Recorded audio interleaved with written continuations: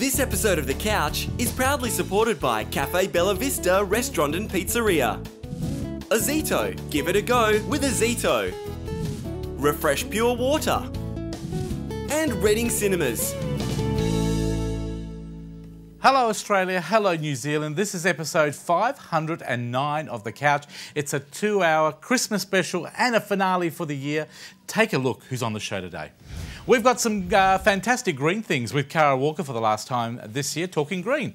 We've also got Marnie Giroud bringing in some cats and dogs, I hope, with wild things today. Later on, we take a trip with our very own travel man, Steve Collins, over Christmas. We look at all the different charities uh, that came up Wishing Tree, and also we look at all the latest gifts thanks to Tayla Divitini for Christmas. Later, Matt Miller takes us on a fantastic couch away to the southwest, and we've got the good and bad movies for 2014 thanks to Cameron Lynch. Music as well, the three Gs. And we've got uh, Reese Curl, and we've got some more fantastic Christmas songs for you. It's going to be a party filled show with heaps of music, heaps of fun, heaps of cooking, and uh, heaps of me. It's going to start now. It's showtime on the couch. Yeah, it's showtime on the couch. You can see it from your house. You can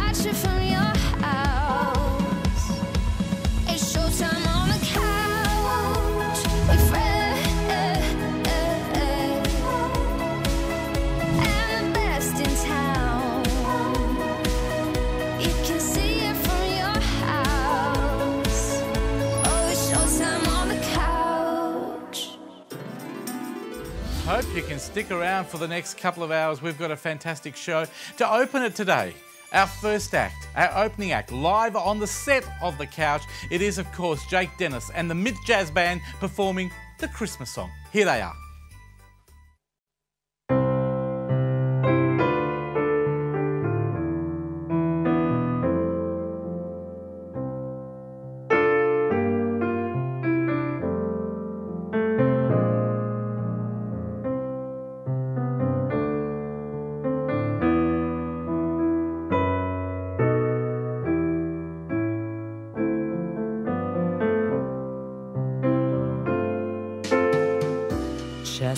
Chestnuts roasting on an open fire. Jack Frost nipping at your nose. Yuletide carols being sung by a choir and folks dressed up like Eskimos. Everybody knows that a turkey and some mistletoe helps to make the season bright. Tiny tots with their eyes all aglow will find it hard to sleep tonight. They know that Santa's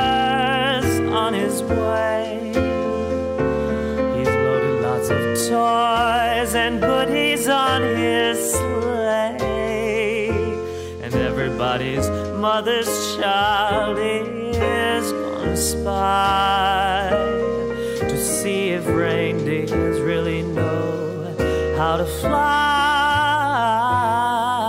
And so I'm offering this simple phrase to kids from 1 to 92. Although it's been said many times, many ways, Merry Christmas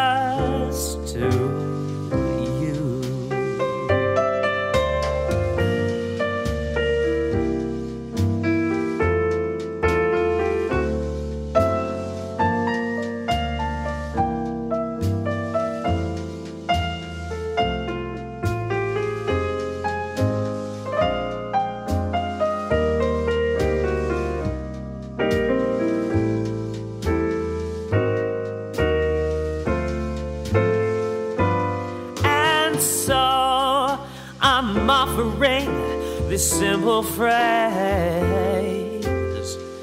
Two kids from one to 92.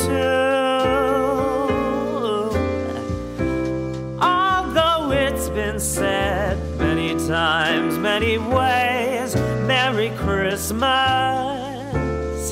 Happy Hanukkah.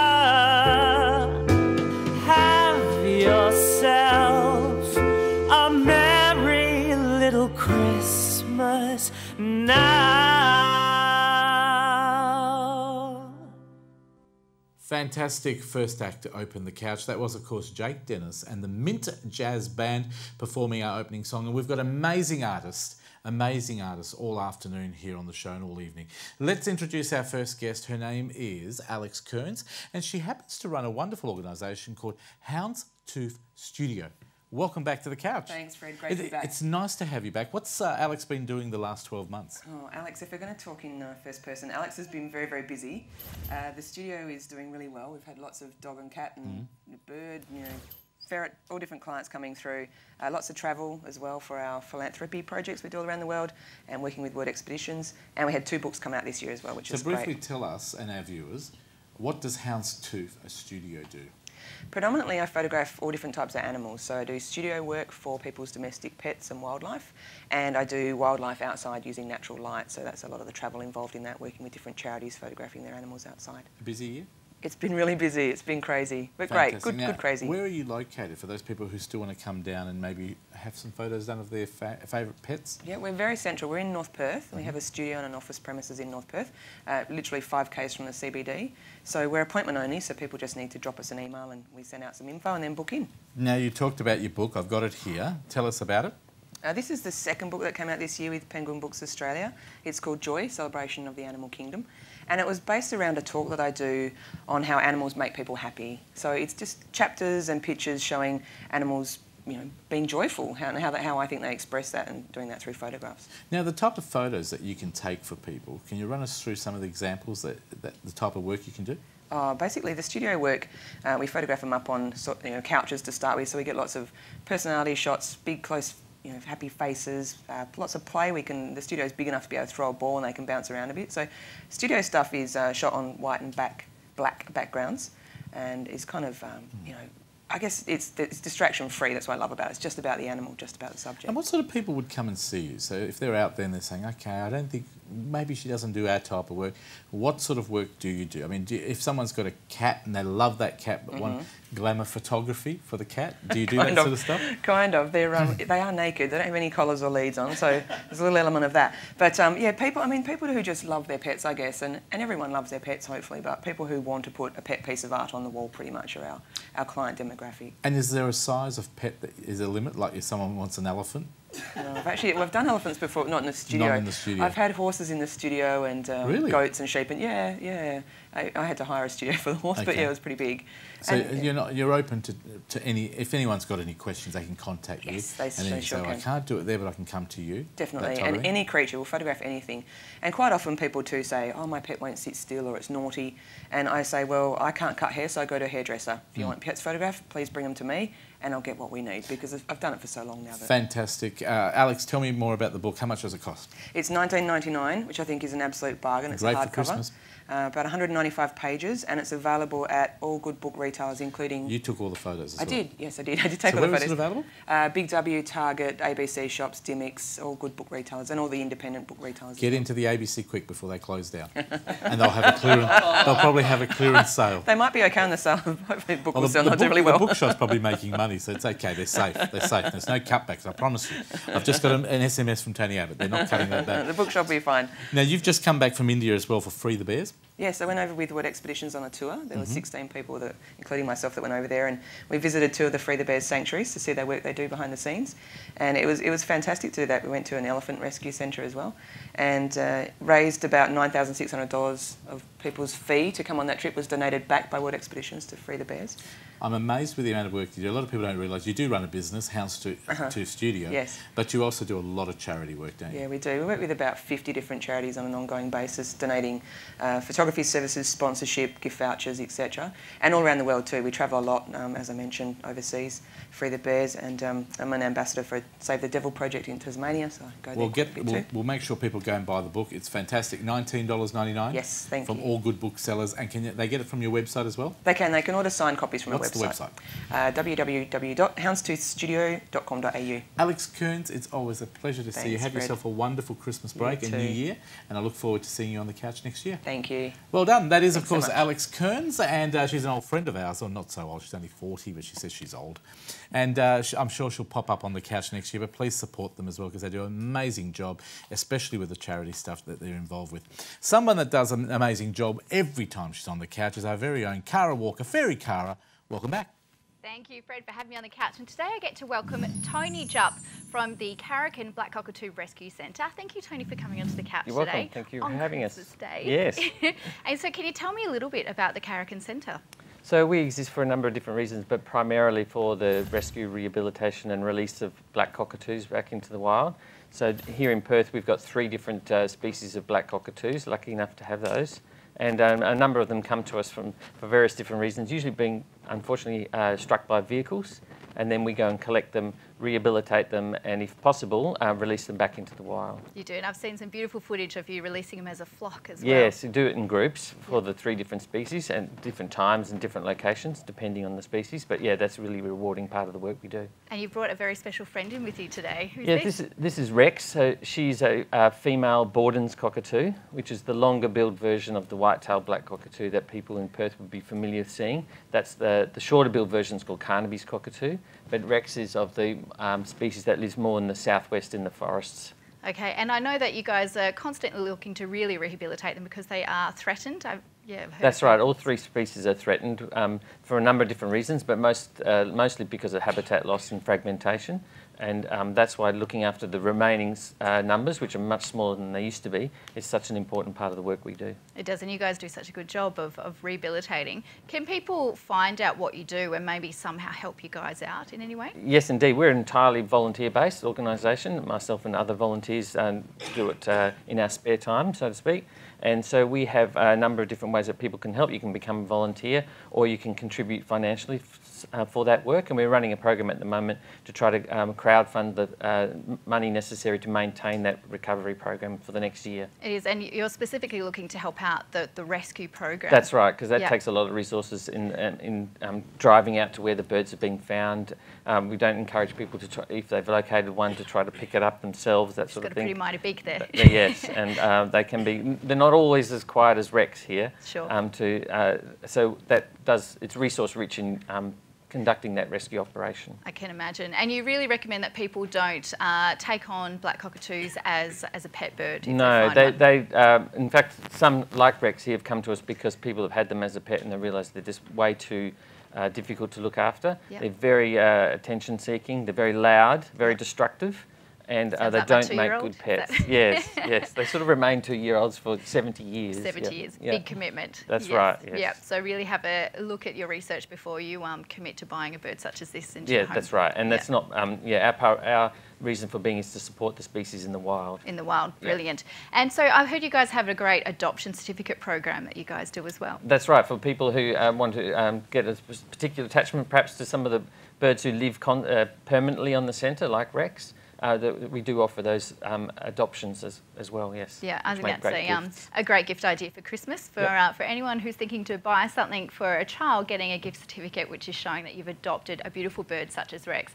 And also you can go out and, and organise tours so you can see what you guys are doing. So some days uh, we uh, open uh, for pre-booked tours because people have such an interest in seeing. So we have around uh, 150 birds at any one time on site, including in a range of different aviaries, including a massive um, 60 metre long pre-release aviary, which is where they're held to exercise their muscles before we release them. go, yeah. So on those days when we're running tours, yes, we, we take very keen people on a um, guided tour around the centre. and you're not open all the, si- all the time. You guys are really focused on rehabilitation, not on um, yeah bringing That's the right. public in. Yeah, so right. it's so people need to book in, and it'd be a great um, sort of work tour or school holiday tour that Yeah, we get together. corporate groups to come out and we do um, do schools on site and we also take the birds out to schools. Yeah, great. And if anyone wanted more information from you guys, where can we head to? The best place is to look up our website, which is www.blackcockatoorecovery.com. That's brilliant. Thank you so much for coming on the couch. And thank you, Rex. You've been an absolute superstar, munching away behind there. She's certainly the star of the show. yes.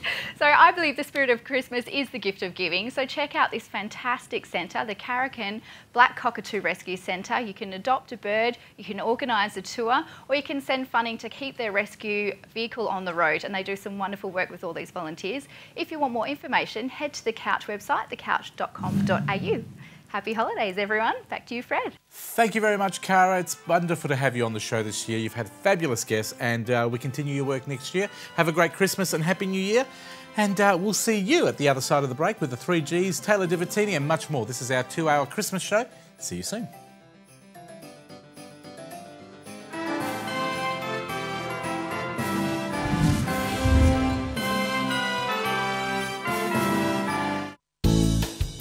This episode of The Couch is proudly supported by Cafe Bella Vista Restaurant and Pizzeria. Azito, give it a go with Azito. Refresh Pure Water. And Reading Cinemas.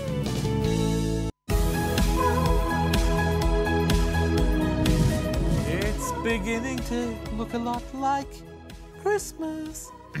no, I'll practice. I tell you, I'll get it right. By the end of the two hours, I'll promise I get it right. If not, I'll get Neesha to sing. What do you reckon, Nish? I don't know about that. We might need to protect. Uh, have we got insurance on the cameras? I don't know. My voice is not. Might crack. The Might crack. cameras, I don't think the cameras are the problem. I reckon it'll be the, our audience. I think I'll get more clients at my clinic. Do you reckon Dr. Jenny can uh, maybe help us sing better with our voices and that? We could do I- some voice training. I think so. I reckon. And welcome to the couch, Dr. Jenny. Thank you so And, much. you Great know, to be what here. a great segue in because we're talking about being happy today. we are Putting a smile in your dial. We're finding the happy back in Happy Christmas. Oh, great. Mm-hmm. So what's so good about being happy all the time? Because you smile all the time as well, by the way, which is Oh, thank so you. gorgeous. Thank you. Um, I think we need to remember that it's good to be happy. It's good for a brain fitness point of view Mm-hmm. because everything goes a lot smoother when we're happy. Uh, Did you know that we have a happiness set point? Do we? What's yes.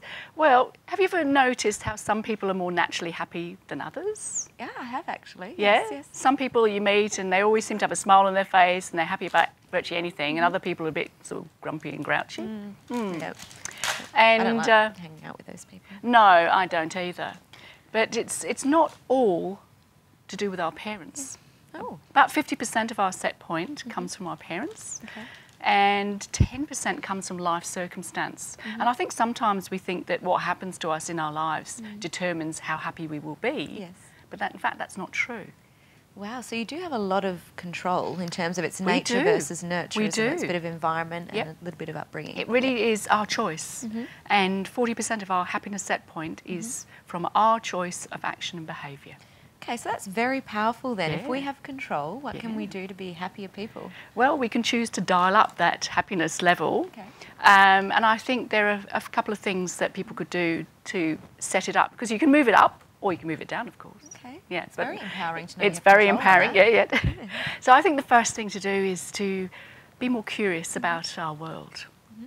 to engage in that more childlike curiosity about you know what's going on around us, and that sense of wonder that's We associated. do with lose that. that a bit, don't We we? do. As time goes we by. get so serious about everything. Fred does, and I can see him eating all your cherries over there. Oh, is he? Well, as long as he doesn't spit the pips at us, we'll be all right. That's good. The packet broke. Oh, I was, did having, it? I was so enjoying myself listening to you that I thought, what else but shove a whole heap of cherries in my mouth. He's happy. And He's get rid of the happy. pip. Yeah, why He's not? happy. Each to their own. Yep. Mm, I'm just jealous. Anyway, sorry, Sorry, Dr. Jenny. keep Neesha. going. So the first thing is to, to stay curious. The second thing is to really cherish our relationships. Um, because sometimes we take each other for granted. My mum and dad have been happily married for over 60 years. Oh, that's beautiful. Which is fantastic, beautiful. isn't it? Yeah. And my dad still says, you know, how wonderful my mum is and how grateful he is for her, for Mm. everything that she does for him, and vice versa. And I think it's just lovely Mm. to hear that, and it's the depth of gratitude. So I think if we just remind ourselves to say, thank you for whatever it is Mm-hmm. they've done or said, and not take each other for granted, that, that really helps to lift our mood as well. Lovely. And, and what else can we do? Well, the third thing is to smile. Excellent. So just put it into practice. Put it into practice and give your face that lovely workout it needs because Mm. it actually takes more muscles Mm-hmm. to smile than it does to frown. Ooh, So that's it's- very, it's a uh, good very workout, scientific, yes. interesting. Yeah, Yeah, scientific, interesting. Just forgot how to speak English. That's right. Next to a doctor, be very careful. Yes, I do have a master's Yeah. degree. Can't speak. So, tell us about your books though as well, because if people want to know more and they want to um, improve their lifestyle, what Sure. can they do? Um, easiest thing is to go to my website, drjennybrockis.com. Okay. And I've got two books up there. The first one is Brain Fit. Brain Fit, Which is all about the lifestyle choices we make Thank to Fred. make our brain fitter and and healthier. And the second one is Brain Smart. Okay. How to stay focused and manage all those pesky distractions. Fantastic. So you've got it all covered in these two books. Yes, yes. So you know what a great idea for the new year to Mm. make you know some some little resolutions and use the books to do that as well. Thank you. Great. Well, look, thank you so much for coming on. I'm sure Yes. we'll see you in the new year. Have a Look Merry forward to it. Christmas though, with a to you big happy smile. Thank And a you. big happy smile. Of course, if you've missed anything, you can go on thecouch.com.au and also Dr. Jenny Brockis' website that was up there before. But thank you so much. Thanks, Neesha. And back to you, Fred, if you're finished eating your cherries. No, Thank you, Neesha. Can I just say, Dr. Jenny, we really cherish all the time with you. And Wow. uh, it is. I really amazing, cher- I cherish every moment with you on the show. Dr. Jenny's a wonderful lady. Please support her because she's not a real doctor. She's an amazing doctor. She is an amazingly real doctor and she does a wonderful job. And I, I love having her on the show. And look forward to having the lady next to her as well back in the next segment as well. Look at this. Ah, but we've got some music. We're having a sort of a party show today. I get to eat all the cherries. Lynda Smythe is a wonderful lady. Never, never talk with your mouth full. And uh, the Borrowed Few, they've got a beautiful Christmas song. It's called "Let It Snow." Here it is for you. Oh,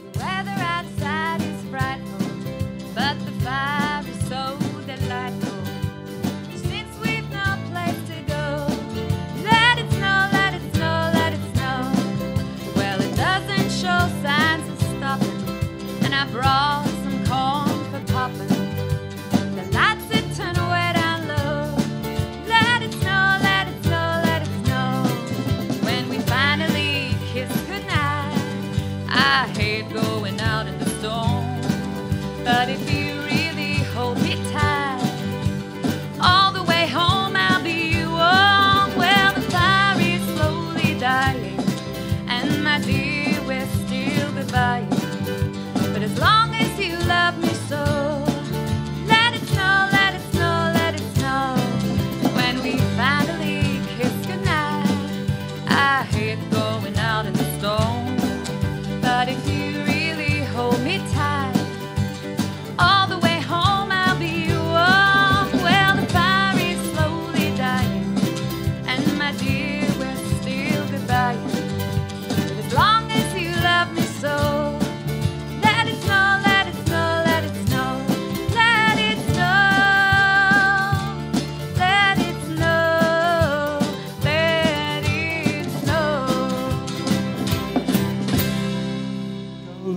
go, let it go. Oh, love it. That's what everyone's saying. Oh, you mean let it go, as in stop singing. Thank you very much. Uh, we are we are doing a fantastic Christmas show here on Aurora. Uh, we'll see you on the other side of this break with more of our Christmas two-hour special. See you then.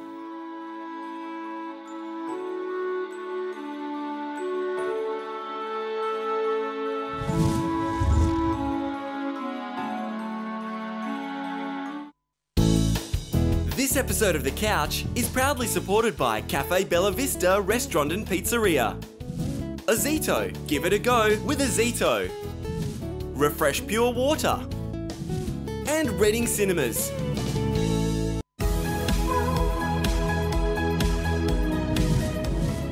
Welcome back to the couch, our Christmas uh, special two-hour episode.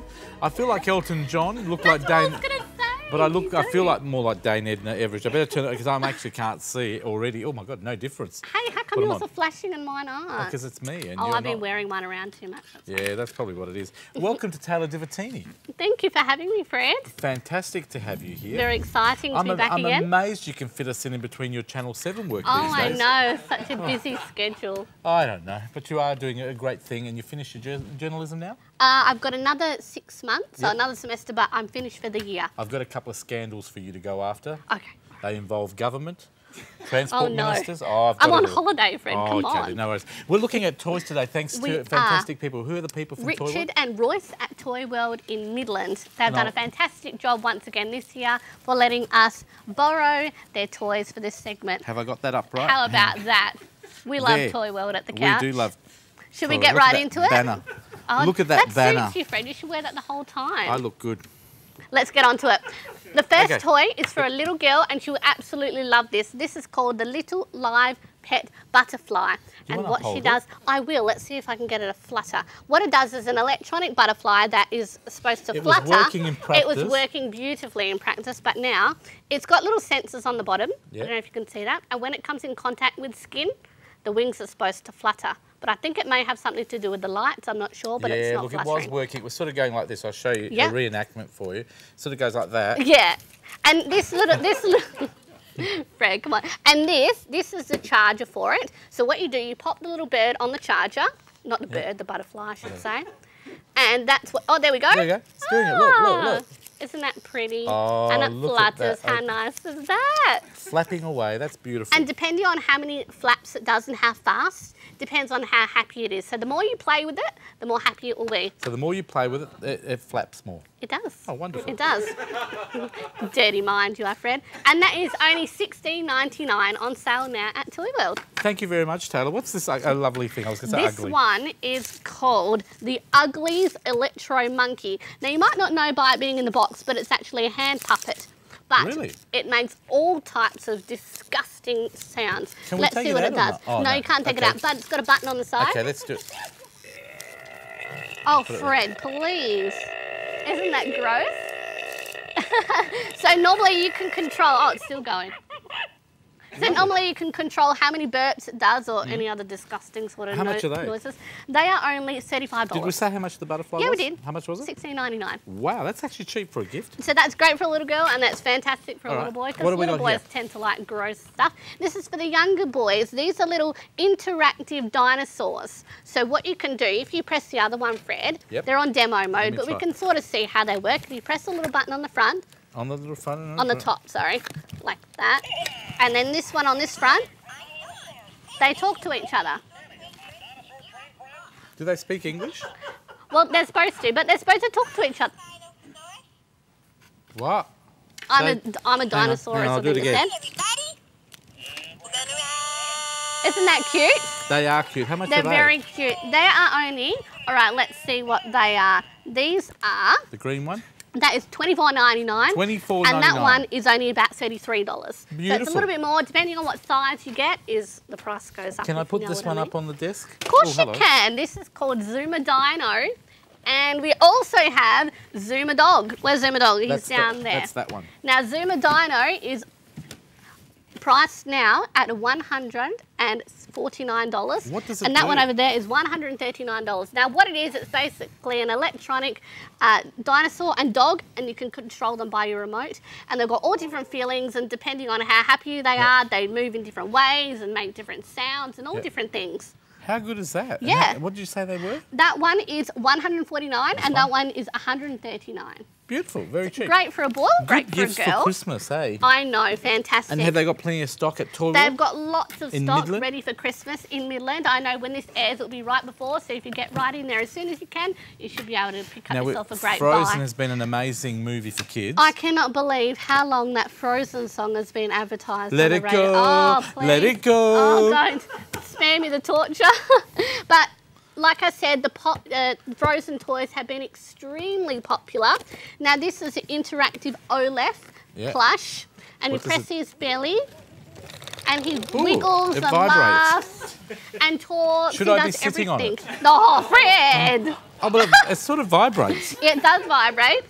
So you just do you press have to his, press? You press him here, his, his belly or his neck. I Oh, that feels quite good. Oh, please. That's quite ticklish. You like How that, much do is you? that? That's forty nine ninety nine. And can I say to you, it's the doll is on sale for forty nine ninety nine as no, well. no, no, that one is it? Oh, it is too. You're right. Oh, and Tayla. you'll never believe what this Anna doll does. If you Nothing. hold, Oh. oh of course it does. You hold her hands like this, Yeah. and she sings and lights Let up. it go, Oh, let it that go. Isn't that lovely? Is that what it sings? Every girl will love that. No, that's Elsa sings that. See, I know that. I'll That's her it. sister. She, she sings some other lovely songs. So do you have to hold both hands? You do. There's little sentences underneath that you have to press. I think your fingers are a bit too big. They're meant for little girls, Fred, not big Okay, I get what you mean. And forty nine ninety nine. That one is forty nine ninety five. And what's this one? Forty nine ninety nine. And this is another. This is Elsa. This is for the younger girls. Yep. And you press a little jewel on her necklace. And she talks and sings. She's very, very pretty. Mm-hmm. Isn't she nice? And she is only ninety nine ninety nine as well. And she sings that lovely song as well. Let it go, Oh, let it go. Beautiful Tayla. We've got more here. And we've got another one down here. This is a Nerf We can- Mega we can leave it down there. Leave it down there. We can that shoot it down You there. can What- shoot tell us all there. about it. This is a bow and arrow for boys that shoots Nerf pellets. Oh, that's the whole bullets. soft thing, isn't yeah, it? Yeah, this is a 21st century version of the Nerf. How much are they now? And they are only forty nine ninety nine. That's actually not a bad price. Fifty bucks for a gift is Yes, good. but that's on sale at the moment. If you get in before Christmas, you'll get it for that price. And do you know what I love about Toyworld? They're purely West Australian, and Definitely. they've been around about five hundred thousand years. and the people at Midland will look after you. What are their names again? Royce and Richard. So you remembered the names quite I well. did, I did. We've got another cocky here. We do. That is also the little live bird. Now this is the demo one, so we Mm-hmm. can show you. So I'll press this little button here, and you talk into it. Hello, Fred. Oh, that really And it doesn't well. work. Let's try again. You do it this time. Hello, Tayla. Oh, that was a fail. Don't eat oh. it. and this one here, oh, you can get them in the little bird cages, so they're very cute. Great one for the girls I do. I actually well. do like this one. This one's actually very cute. They are. are they? They're about thirty dollars. And this one here, just finally. And that one is twenty four ninety nine. Fantastic gifts for boys and girls at Toyworld Midland. Do you want to tell us where they are? They are in Midland on. They're in Midland. Toyworld in Midland. Look up on Google, you'll Oh, find it. Don't you just love it when we put it on the spot? You always put me on the spot, Can, can I ask you, can you read this for me? Do you know who's coming in? At two, Yeah? the three Gs. I hope you read better than that when you work on seven. because if I was on seven, I'd be going to this. The three Gs are up next and performing for us a wonderful song, which is called It is called I Saw Mummy Kissing Santa Claus. Beautiful. Here it is. Alright, I'm gonna beat you this time. You ready? Yeah, you ready? Alright. Paper, scissors, rock. Ha! I beat ah! you. No one can Here beat you me. guys are. Oh my gosh, I've been looking all over for you. You would not believe who I just saw. Hmm. I saw Mummy kissing Santa Claus under the mistletoe by the Christmas tree. What? Yes. No, you didn't. Yes, I did. Yeah, I'll tell you. I saw Mommy kissing Santa Claus underneath the mistletoe last night. She didn't hear me creep down the stairs to have a peek. She thought that I was tucked up in my bedroom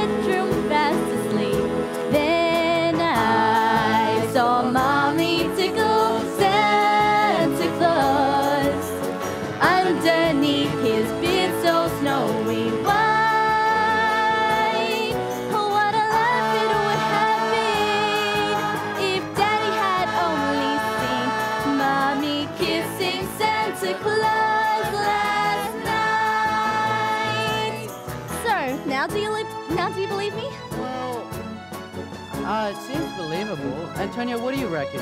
I don't know. Maybe it could have happened. It did happen. I saw it with my own two eyes.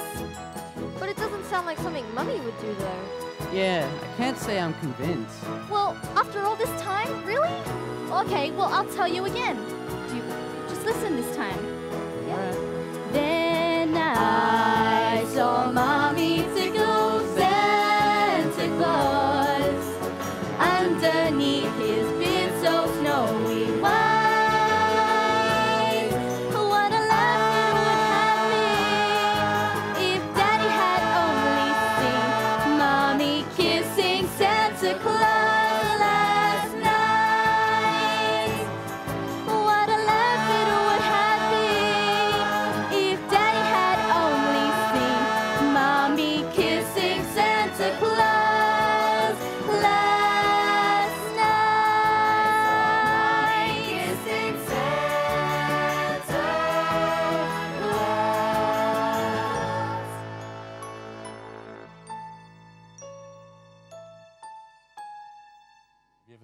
mum kiss Santa? Surprisingly not. No, she's I haven't good. anyway. She's too much in love. You know, someone that's uh, too much in love with her pets is Marnie. That is. What's coming up? We've got Marnie with Wild Things. Thanks, Tyler and Fred. Yes, it is a wild Christmas thing today. Hi, everyone, and welcome to Wild Things Christmas edition. Well, do you have this problem at home? It doesn't look like much of a problem right now. They're very relaxed under the lights. About half an hour ago, they were shredding their Christmas tree. But you don't have to give up Christmas to keep your pets safe.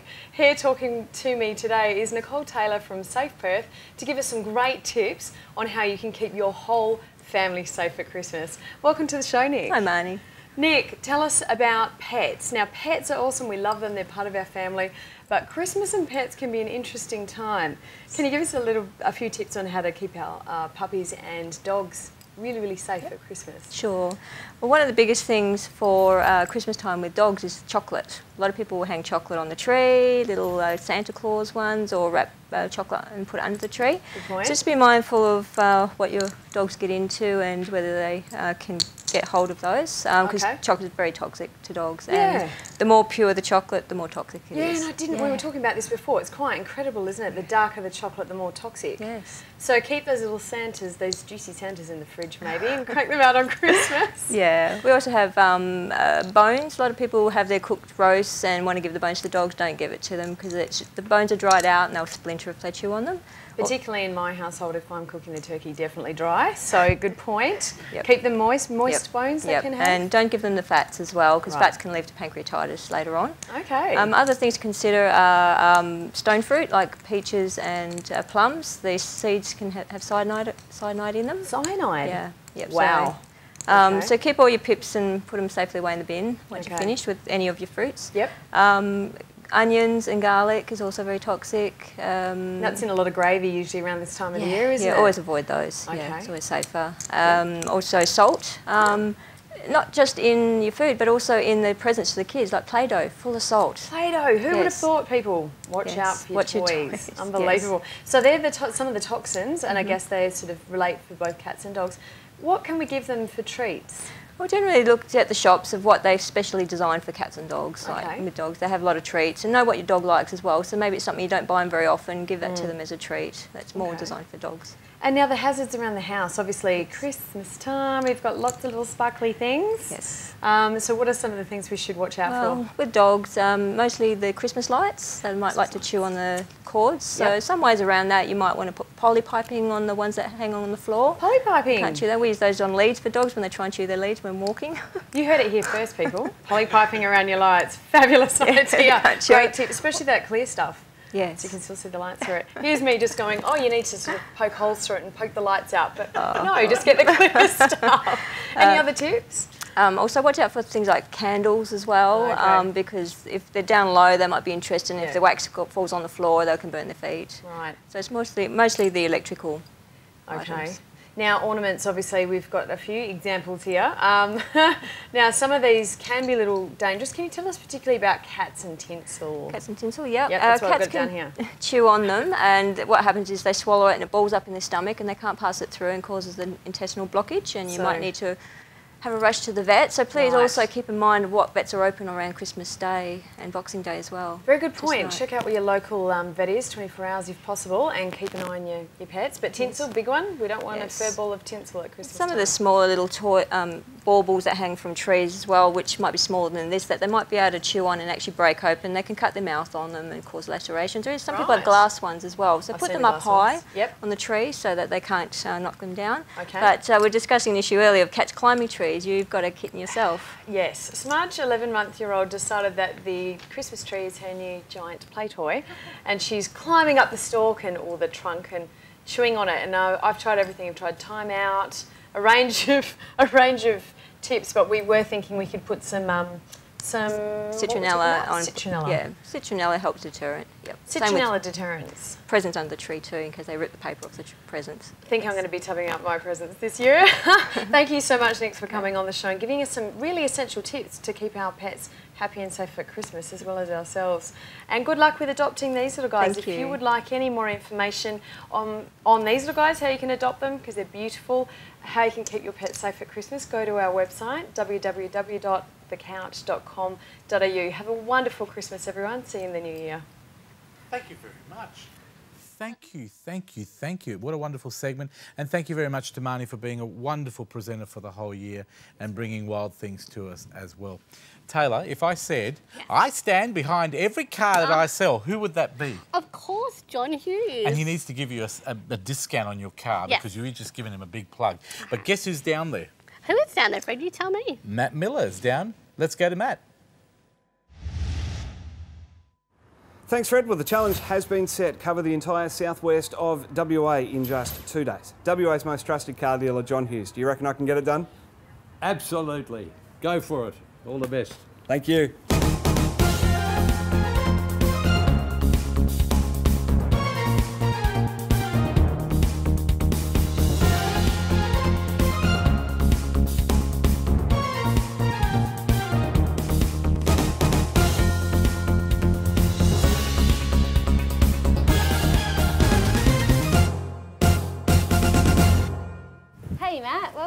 Pinjarra Bakery. Hi, Jodie. Thanks for having me. I thought you might be hungry on your road trip. Got Oh, your nice excellent. cream donut. Excellent. Get That looks started. fantastic.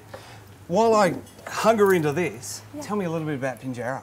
Well, Pinjarra is it's a beautiful little country town, and I mean it's not so little anymore. We've had a lot of growth in the last um, few years, especially. But what I love most about it is it's still got such a community spirit. Um, there's lots to see and do. Anything from getting up close and personal with the wildlife at the Peel Zoo, We've got boutique winery, Raven Wines, from wonderful fashion stores. Um, yeah, and you can head up to Dwellingup. You've got Dwellingup Adventures up there, and yeah, so and of course Pinjarra Bakery. Tell us a little bit about your bakery here. You've got three stores now across the eastern side of Perth. The bakery has just experienced such incredible growth over those 19 years, and um, yeah, I think that we're definitely a place people think of when they're heading either south or heading back home. Um, and we really want to create a great experience for people, and um, I think that's I think that's what we've done over the years. So we've really built our brand, and um, we've got wonderful loyal customers that support us. The bakery is just off the Southwest Highway in Pinjarra. It's got to be on your to-do list on the way south.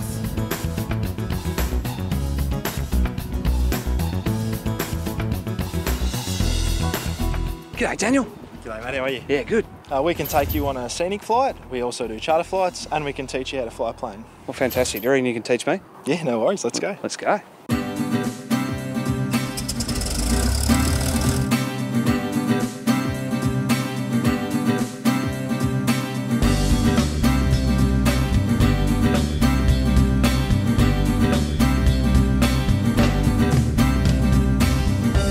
Bunbury Aero Club have got you covered for scenic flights around the southwest or even charter flights. They can also train you to become a pilot yourself.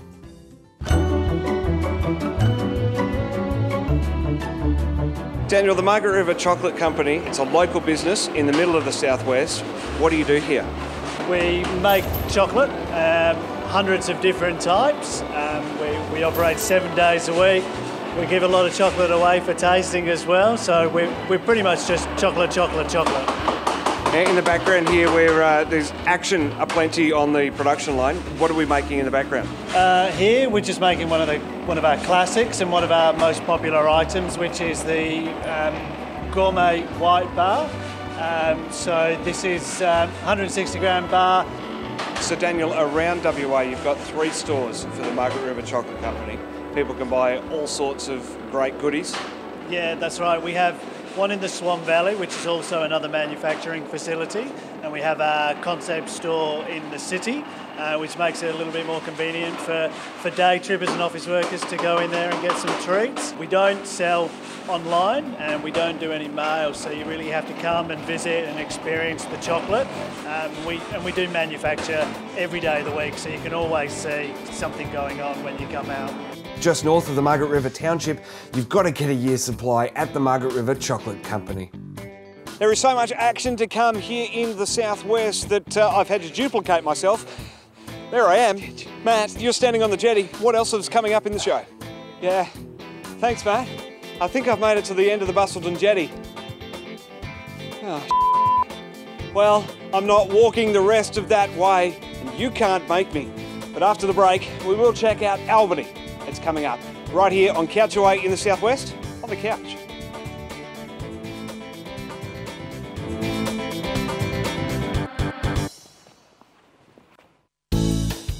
This episode of The Couch is proudly supported by Cafe Bella Vista Restaurant and Pizzeria. Azito, give it a go with Azito. Refresh Pure Water. And Reading Cinemas,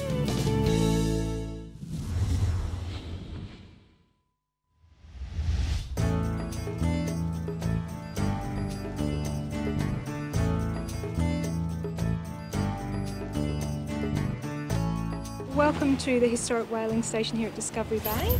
It was the actual last whaling station that closed in Australia and operated for 26 years, right up until 1978.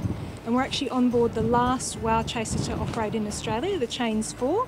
And behind us, you may see the harpoon. That's what they actually used to capture the whales.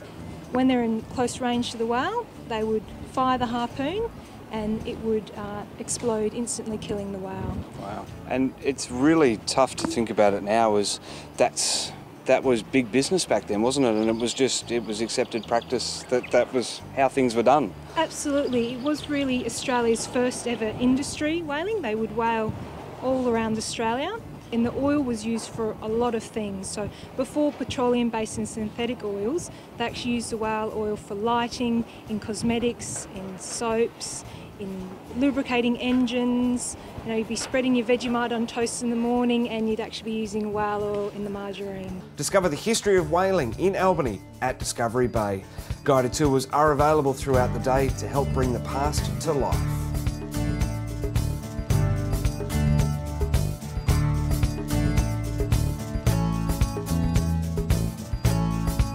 Peter Aspinall from the Albany sub branch of the RSL. Uh, we're looking out at King George Sound, which is very significant in the story of the first Anzacs. Uh, you'd have to wonder why Albany. And really, you've got to think back to that period of time where the ships that were plying from basically the eastern states, Melbourne, Sydney, etc., going back to Europe, uh, would have to go across the Indian Ocean, obviously. And back in those days, they were coal burners. And really, Albany was the last major coaling supply port that they could actually refuel with coal to make the journey across the Indian Ocean. Was it unprecedented at the time, the, the size of the convoy? Well, it was for Australia. We'd never actually engaged in uh, that sort of shipping before. Um, I have no doubt that there were movements of ships together, um, but they would have been for trade purposes, not for the movement of troops. So yes, you're right. It was unprecedented and uh, and quite unique for Australia, and obviously one of the first elements of what you might call serious national planning, engaging military troops.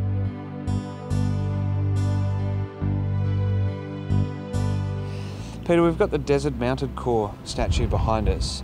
There is quite a lot of history to that. Um, it was built in Egypt to, to commemorate the, the Corps in the First World War. Well, you mentioned about uh, being constructed in 19, the 1930s, early 1930s, and was unveiled by Prime Minister Billy Hughes, and it was it, that was in Port Said in Egypt, and it was to commemorate the actions of the Desert Mounted Corps in the period of 1916 to 1918 when they were engaged in operations um, in Palestine and, and Syria and Mesopotamia. In 1956, people may remember there was a, what was known as the uh, Egyptian, uh, the Suez uprising.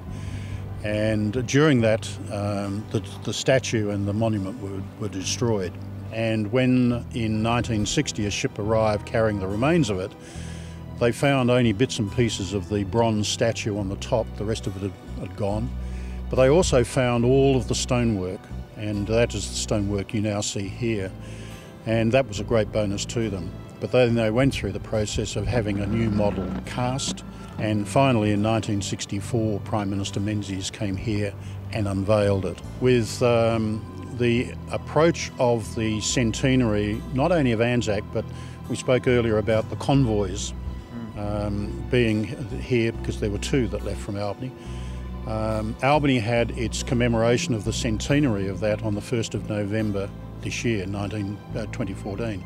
In preparation for that, the state government agreed to fund a complete upgrade of the access road up here called Apex Drive, and more particularly this area around uh, the, the, the uh, statue itself. It also has improved just day-to-day access and is now very easy for people to get up here.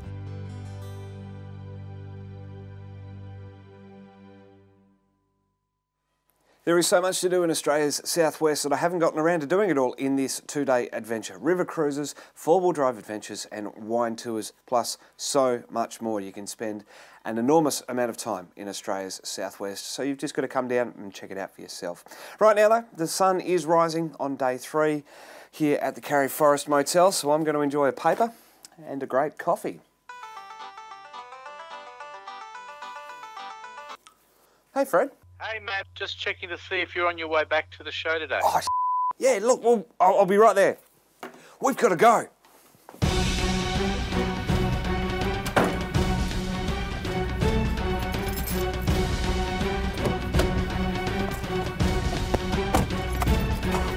It's two hours to Perth. Let's hope I can do it.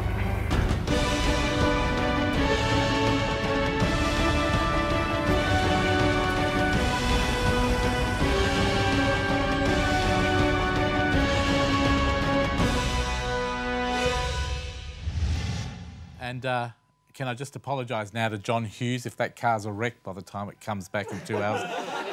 Uh, I'll give you uh, Matt Miller's name and address, please. Nothing to do with us. But I hope he, he makes it back, not.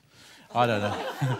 nah, he will be back. Can I just say he's done a wonderful job with these great interviews, and uh, well done to Matt Miller. And he hopefully he will be back. He always keeps to his target and challenges. He loves a good challenge. I don't know if he had enough fuel in the car, but we'll look forward to that. Now you're wondering what this is all about? My mama told me. Kmart Wishing Tree is a fantastic charity, thanks to the Salvation Army and of course Kmart. Take a look at this clip, and then Neesha's got some great guests.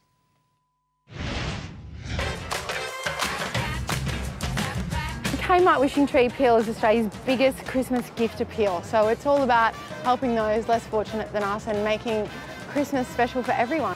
And I think everyone's capable of doing that.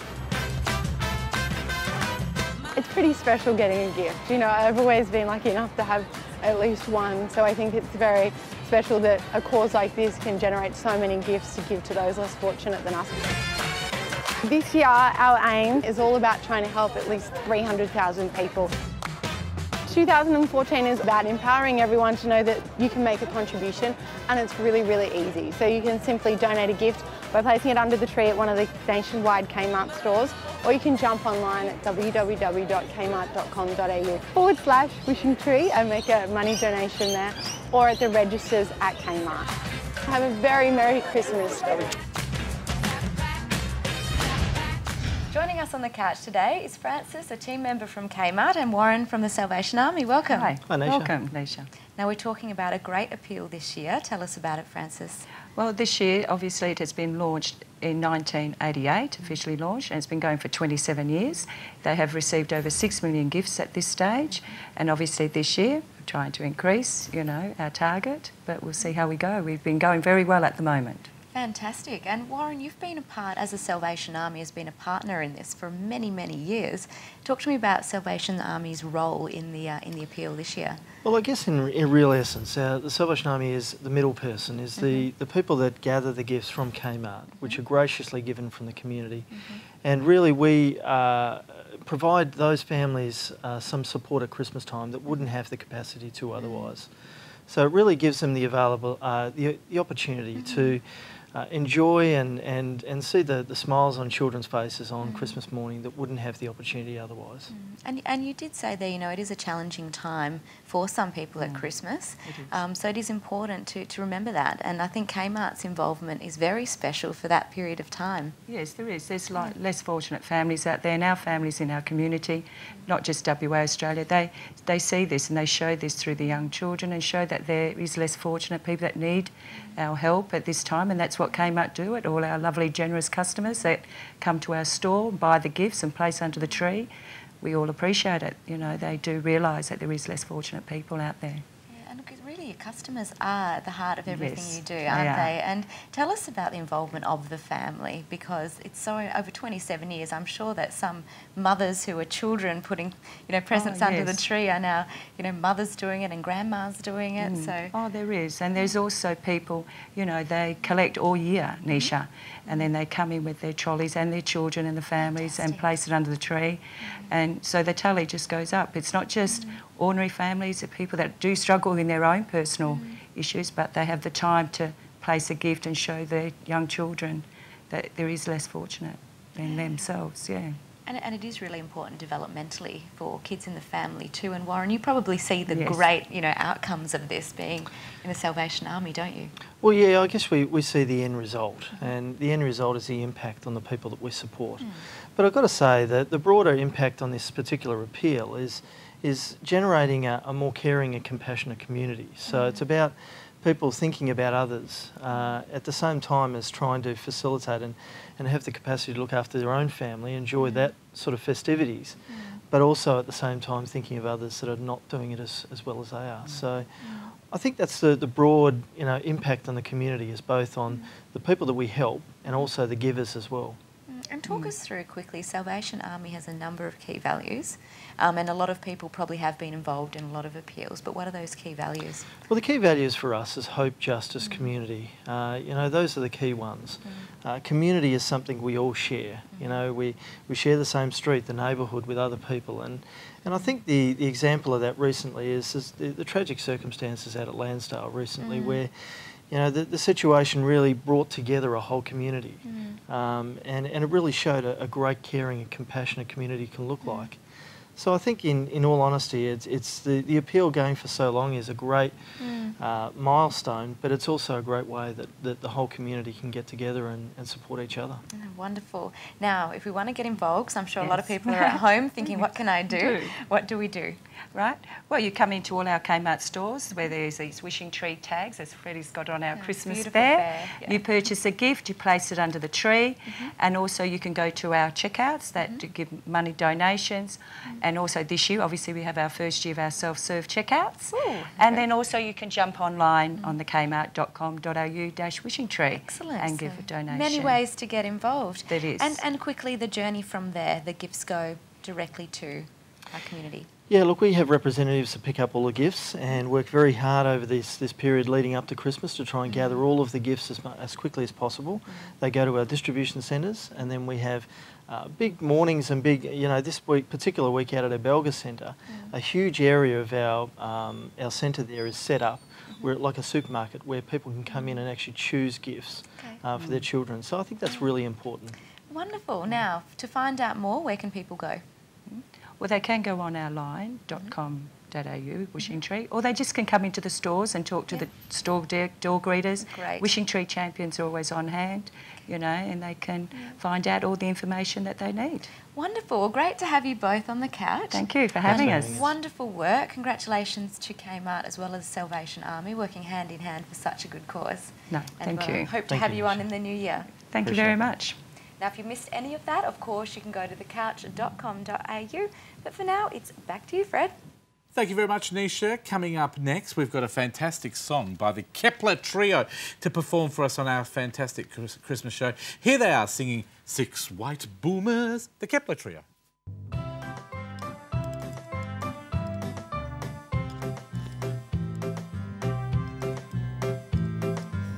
Early on one Christmas day, a Joey kangaroo was far from home and lost in a great big zoo.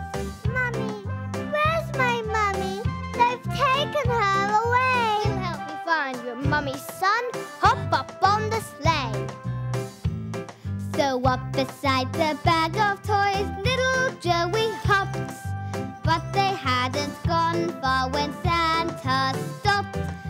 Unharnessed all the reindeer, and Joey wondered why. Then he heard a far off booming in the sky. Listen.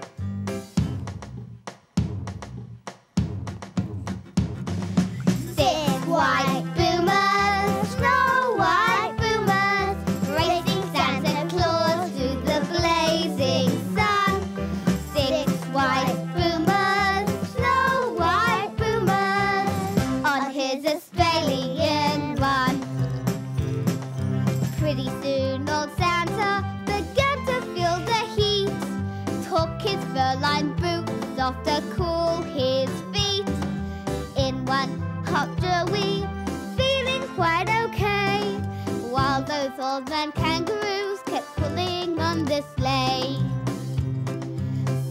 Six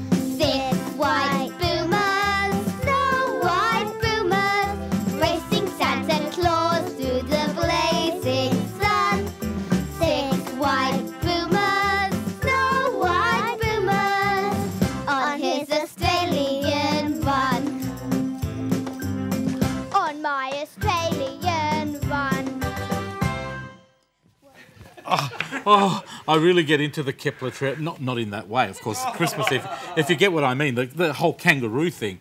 Oh, terrible. Thank you very much. Cameron, you're back. Hastily moving It's along. Yes. Hello, Fred. very quickly through the door. Yes, yes. You've been away for a while, but you've got I some, have uh, been you've away. a great segment today. I have a great segment today. Uh, first of all, Merry Christmas, Happy Kwanzaa, uh, Yuletide givings, uh, Merry Hanukkah, and non-denominational Christmas uh, love to all of our uh, Face TV and, of course, Foxtel Aurora fans out there in uh, TV land.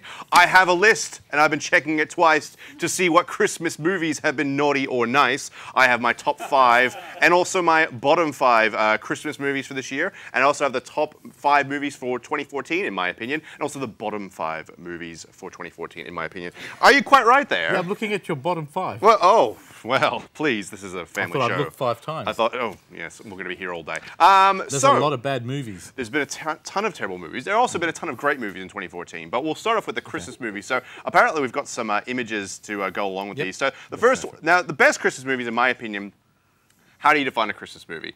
There's A Wonderful Life, which is like a quintessential Christmas movie, or or something to do with Scrooge, or retelling of that. Um, but for these movies, for me, they are thematic in the fact that they occur during Christmas, but they may not be hmm. about Christmas specifically. So just stick with me on this. So first movie is Batman Returns. Yes, it is uh, Tim Burton's uh, one of his best movies, I should say. So he's going four for 40, unfortunately. So yes, uh, one of the great films. Uh, Bad Santa, of course, Billy Bob Thornton being horrible to people is quite hilarious. Gremlins, again, uh, little creatures going crazy, and Phoebe Cates doing a very, very, very unnerving monologue during that. Not really Die for the families. Die Hard, yes, Bruce Willis and the Nakatomi building itself, and of course Reginald VelJohnson as the uh, lovable cop from Family Matters. Um, yes, of, apparently in Die Hard they offered that role to Arnold Schwarzenegger, and he turned it down, and all the action stars of the day, and of course Bruce Willis picked it up. He was doing Moonlighting at the time, which was more of a comedic role. He took the ball and ran with it, made millions of dollars, and established him as a action star. And of course another fa- fabulous uh, Christmas movie, and of course Home Alone.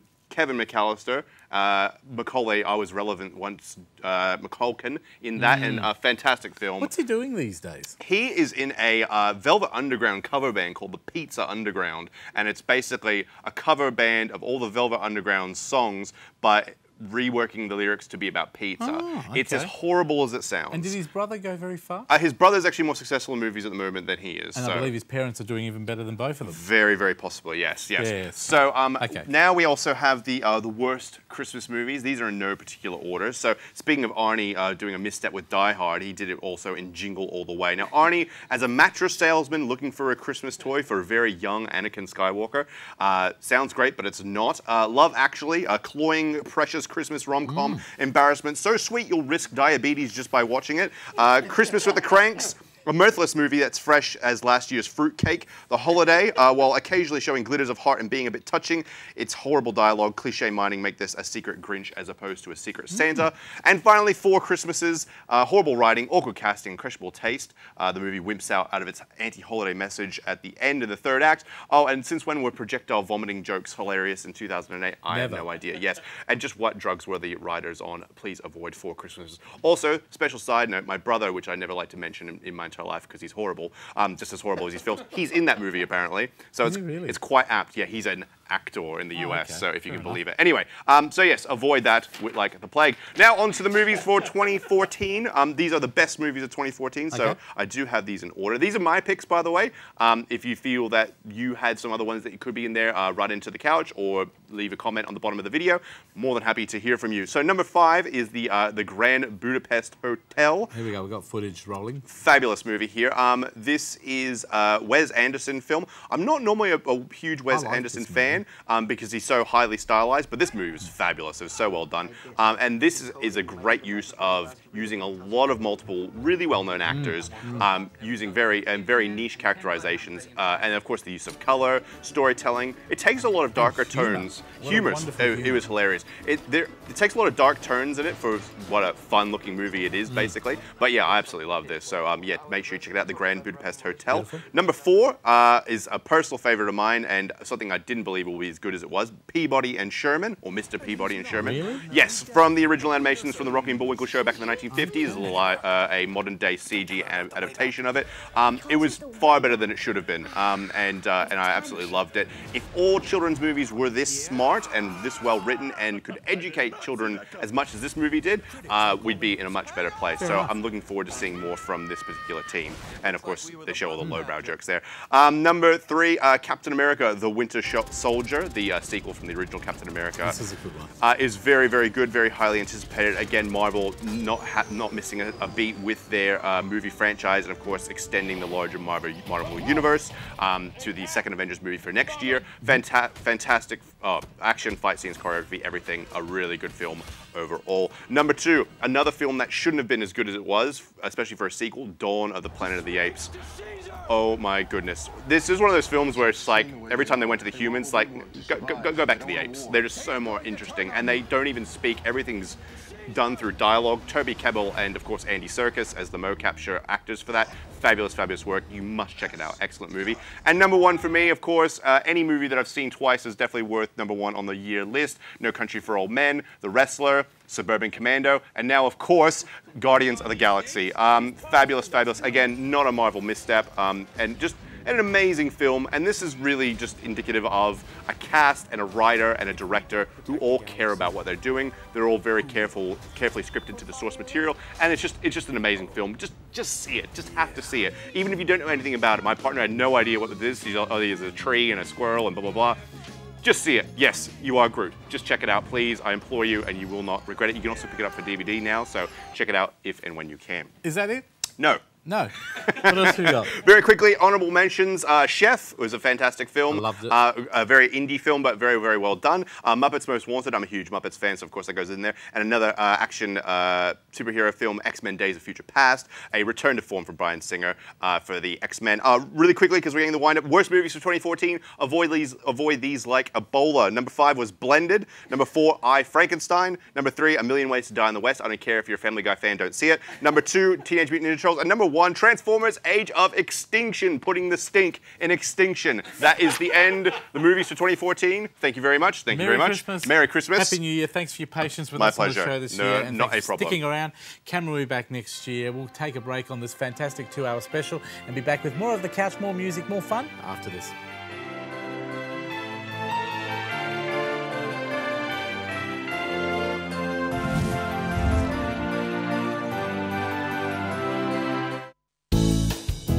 This episode of The Couch is proudly supported by Cafe Bella Vista Restaurant and Pizzeria.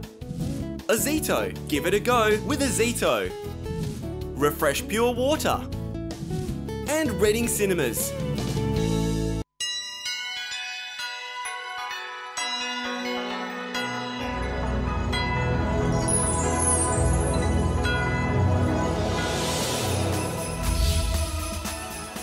Welcome back to the Couch Christmas Special, a two hour edition, our finale for 2014. And who better to end the year with than Steve Collins? Welcome back. Merry Christmas, Fred. I was going to say ho, ho, ho. Oh, you never say ho, ho, ho because that frightens little children. That's. Oh! Thank you, Steve. You look lovely with that. Thank you well. very much. It's to hide the bald head. Look, see. The wig came off, but that's okay. did. Are you doing much for Christmas? Um, well, I'm working, as a matter of fact, same as you, Oh, Fred. ladies- Some of us do have to pay off we our do, credit we cards. certainly do. If we love to travel, we need to work at 6 p.m. Exactly right. What are we talking about travel Well? I thought we'd talk about great Christmas, uh, great Christmas destinations. Now we're going to do it in several ways. First of all, a couple of good places for religious Hmm. Oh, uh, experiences. The first one, of course, is Bethlehem, which is on the West Bank, which is in Palestine. And that's where you have Manger Square, you have St Catherine's Church, which Ooh, they say good. Oh, that's a, that's actually the Vatican. That's a that's another one to go to. Uh, the Vatican is great for midnight mass. I thought uh, Bethlehem this changed. this is Bethlehem here. It looks beautiful. It's just wonderful. Um, Have you they been take there? it very seriously. I haven't been to Bethlehem, no, but they take it very seriously. That's also that's just Oh, that's outside the Vatican there. The Vatican is also because they have the midnight Hmm. mass. They have uh, a midday mass on Christmas Day as well. Hmm. Uh, but Bethlehem, very very special. Uh, they're very, very limited to the number of people they can get there, so it's a bit of a hard shot to get there. But if, if you're a religious person, you probably should do that once in a while. Now, I thought, well, what do we like to do for Christmas shopping? And some of the great places in the world. First of all, I'd have to say New York City, although that's not New York, that's. Uh, that's Nuremberg, I believe. Nuremberg is uh, is got. That's New York City. That's uh, uh, that's. They have that magnificent uh, tree, and they have the ice skate in there, and of course they have Macy's, which is the world's biggest department everything stores. in a big way over there, They don't do do it in a big way, but in Christ- at Christmas time they, they do it quite well. Do you you know, know, they what I love? just They've got carolers on the street. and they do, that and they've got the have. Santa Clauses collecting money, etc. But the other one we went to, so there's Macy's. The other three, there's another th- three in Europe that you should go to for your Christmas shopping. The first is Nuremberg. Now, uh, Hillary will uh, be, be cooking one of the specialities that you get in Nuremberg later Ooh, on. the. But they're famous for their uh, crystal knacks, and they are their Christmas markets. These better huge hurry up. We've got, to, markets. we've got to have some biscuits. Or we better have, we better do that. Okay. that. But there's also you've got Zurich Yep. uh, in Switzerland, and you have Vienna in Austria, which have these fantastic crystal markets. That's just a wonderful, wonderful place to go. When you say crystal markets, is it Christmas, Christmas? Christ- oh, yeah, Christmas. they have all. The, it's all Christmas gear. Oh, it's okay. food. It's uh, it's decorations. It's gifts. And where is that? Well, you've got them basically. Nuremberg's got the best known one, and there, of course, you have your mulled wine and your bratwurst as you're walking along. Zurich is beautiful. Be- Zurich has got a, a huge Christmas tree in the middle of the square. They've got several crystal uh, Christmas markets. The biggest one is inside, and that's it. Oh, that that's inside the Zurich railway station. It's just magnificent. But this massive tree they have outside. Uh, they have choirs there singing Christmas carols sort of continuously through Christmas. And the other one is Vienna. Vienna is a great one. They have the markets, but you know what? Really stay on for Vienna for New Year's Eve because that has the best New Year's Eve. They have the Strauss waltzes. you get dressed up. That's Vienna there. It's just a wonderful, wonderful place to go. Now, if you want decorations, those decorations are pretty good. But you know one of the best places to go in the world for decorations? Kmart. yes, it is. However, if you don't want to buy any, you just want to go and, uh, and watch. Watch. Tokyo in Japan. It has absolute. It has. They love the idea Now, of I decorating. thought they'd have small balls. Well, they probably do, large whales but small balls. Uh, but what they do there is they love the idea of decorating. So they have, that's it. Oh they go God, right over the top. There's lasers and everything. There is absolutely no religious significance to that whatsoever. Because what they do is on Christmas Eve, they it's like oh, Valentine's Day for them, and they have fried chicken and they have sponge cake with strawberries and cream. And then on Christmas Day, they rip it all down because there's no religious significance. No. Oh, so it's just for well, it's just because yeah, they're, they're not very religious people. Isn't that a good thing, but? What to, to, to put up the, the like the decorations? idea, do well, they like the ideas. The other two places to go uh, in Asia are Singapore. Yeah. Singapore has some fantastic Christmas decorations, so especially up Orchard Oh, that Road. looks. That is uh, Kuala Lumpur actually. Kuala Lumpur is also really, really, really Very good. colourful, aren't they? Yeah, they're very close together. But I mean, both both Singapore and Kuala Lumpur, uh, they're pretty open societies Mm. as much as uh, they're, very tolerant towards other people's religions. And Christianity is one of the is an Mm. important religion in both those places. That's why you get such great decorations there. And no, they do not rip them Exactly. down. That's Singapore, That's in- uh, yeah, that's that's KL as well. That's inside the Pavilion Shopping Centre. That's just amazing. You go in there, it's just beautiful. Now, Mm. let's talk about festivities. For Christmas is a time of enjoying yourself, and mm-hmm. one of the best places in the world to enjoy yourself at Christmas time is Dublin in Ireland. You know, the Irish, they have these craics, as they call them, which means that they like to get out and enjoy themselves, and it starts well before Christmas, about two weeks before mm-hmm. Christmas. Of course, you have the Christmas carols. You can go to St Patrick's Cathedral and you can listen to the carols. But the pubs are open as well. I was going to say Dublin would be fun- hard to oh find yeah, one not and you go and you go to Dublin and enjoy the pubs, etc. Uh, and uh, they and then the other place to go is uh, is in Puerto Rico because Puerto Rico, yeah, it's in the Caribbean. There you go. That's Puerto Rico. Oh, wow. It's uh, Looks uh, like it's- you could almost eat that. it's San Juan, which is the capital city. San Juan is the second oldest capital city in the Caribbean, and it's a very, very ancient, uh, but battalion-like city there. Hmm. But they take the, once again they start well before Christmas. They have uh, they have a dawn mass every morning. Christmas carolers go all over the town and sing, and there's hmm. these wonderful decorations, and they go right through to the 6th of January, hmm. and that is the anniversary of the three wise men, and that's sort of when Christmas stops for them. Any more photos for us? Well, what about we have an Australian Christmas? Oh, let's have a look. And of course, the best place to go to Australia is the beach. Which is, oh yeah, everyone's got to go to the beach in, in Australia. there we go. nothing That's there, one of my favours. That's uh, that's down in Cape Le Grand National Park. Oh, that's a beautiful. Beautiful. place. So you can go to us. You can go to the beach. You can go there on Christmas Day, and that's what it would be like. There'd be nobody else. So you'd have, Have that you ever been to magnificent beach. Exmouth? Yes, Beach I up love there Well, the there's several national- beaches up there, There's a national but you're probably thinking about Turquoise Bay. That's a popular one where you go drifting. beautiful. Yep. Yeah, it's just wonderful. Uh, and that's uh, that's uh, that's another beach. That's over in Jervis Bay in Sydney. And I was going to say the best natural decorations in the world. We have them here. Our natural. Christmas trees.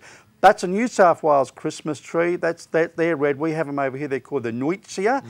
and they're brilliant. They're vibrant yellow. They are fantastic. Why do we persist in, in putting up pine trees when we have these most right throughout our neighbourhoods? There, yeah, they're fantastic. The most beautiful Christmas trees in the world, and we tend to ignore them. Beautiful. Uh, Where's, where's the best place you've ever been for Christmas? The best place I've ever been. Yep, the most beautiful place and best. Ah, well, you know, I come from Sydney, and I have to say, Sydney at Christmas time on the harbour there is really very, very, very special. I It's love New Year's. Eve in Sydney. Yeah, Beautiful. it's just wonderful. Thank you, Mr. Collins. Pleasure. As always, you've informed us, you've radio roamed us, and if people want more information, they can go to Oh, your website. You're going to be continuing that over the oh, summer? certainly, yeah, radio, Radio roaming. roaming. Thank you very go. much to Steve Collins. We need to check in with our good friend uh, Matthew Miller. Let's find out where he is, and we'll be back after the break.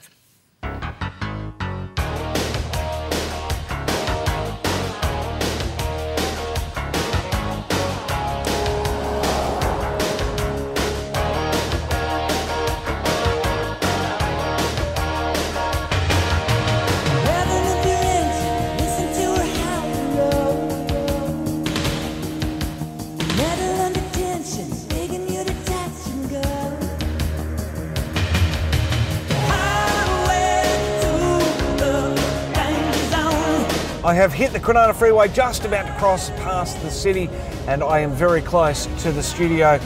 This will happen and I'll see you to close the show right here on the couch.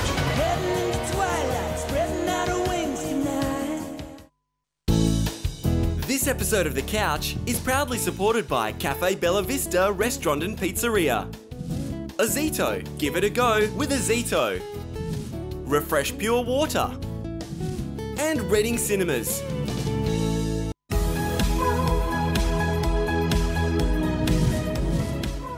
Welcome back to the couch here on our Christmas finale for 2014. Do you all know how to sing Santa Claus is Coming to Town? Let's all sing it together, all right? Everybody in the studio, sing together. Santa Claus is coming to town. I knew I should have sung it on my own. Oh, they always ruin my limelight. But Reese Curl is ready, centre stage, and he's going to sing for us on our Christmas show. Over to you, Reese.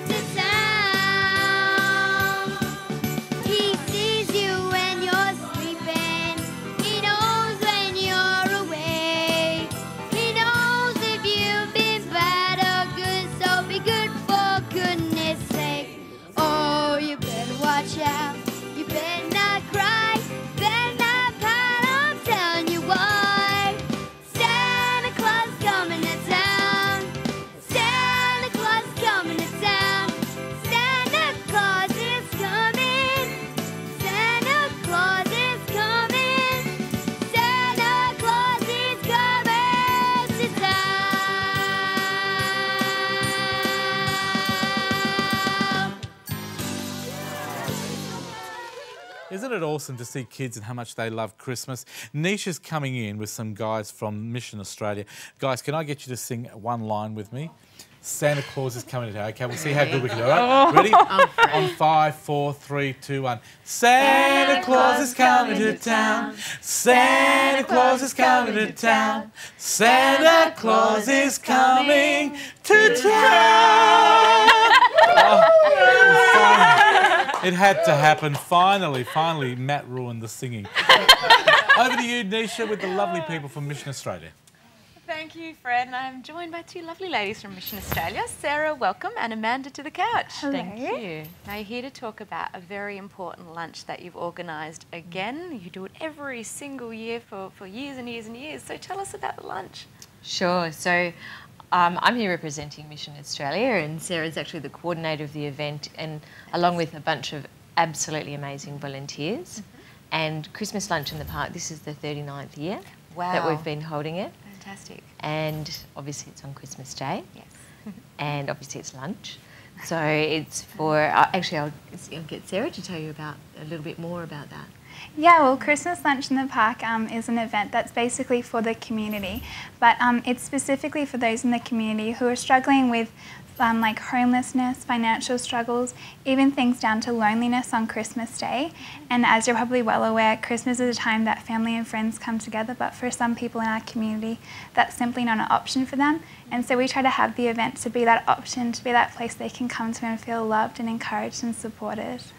Fantastic that you've created that opportunity for 39 years now. That's that's exceptional. So, when um, when you know the guests come, so it's it's quite a large event. How many people? Thousands. Yeah, over 2,000 come to the event each year. It's pretty amazing. So, so when you go down, what do you expect on the day? What do you see when you walk out onto the park?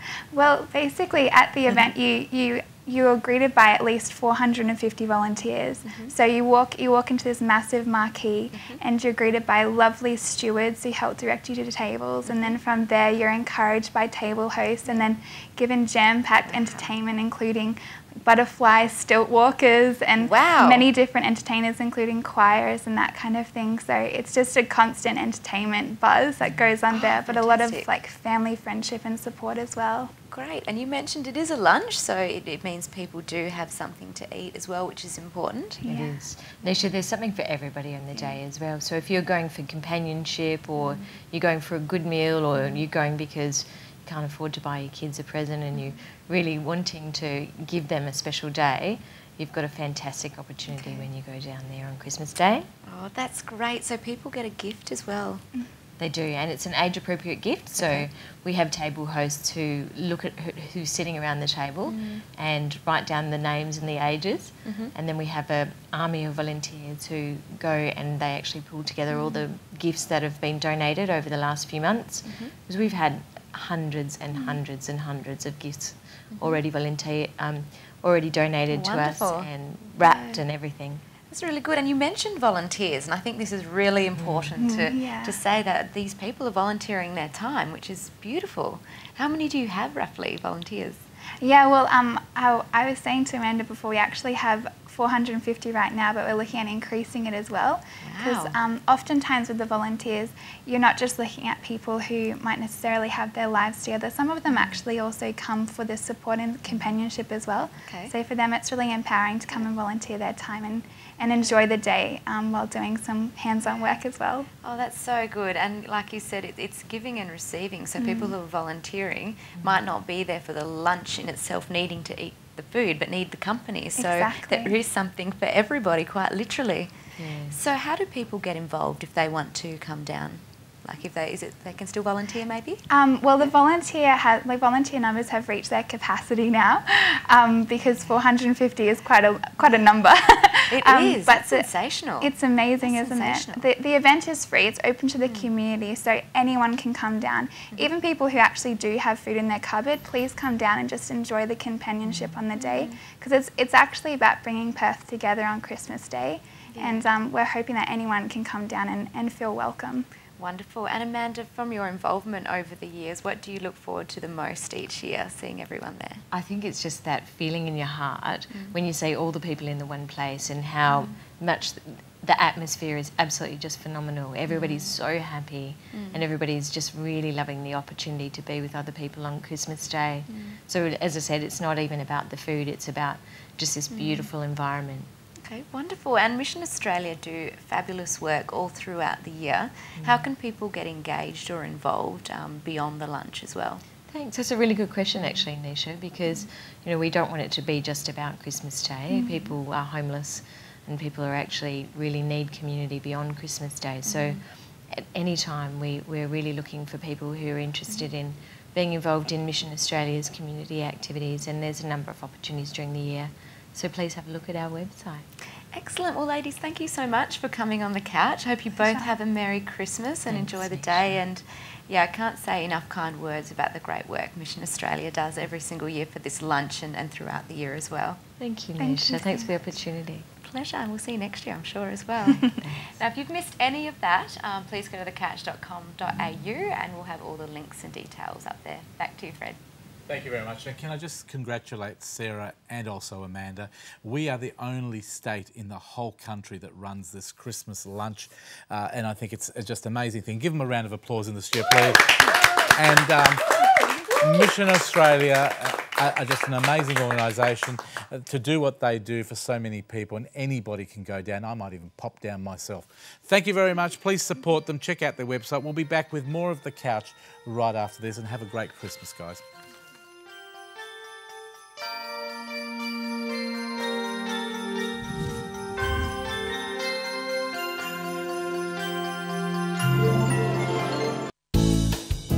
This episode of The Couch is proudly supported by Cafe Bella Vista Restaurant and Pizzeria. Azito, give it a go with Azito. Refresh Pure Water. And Reading Cinemas.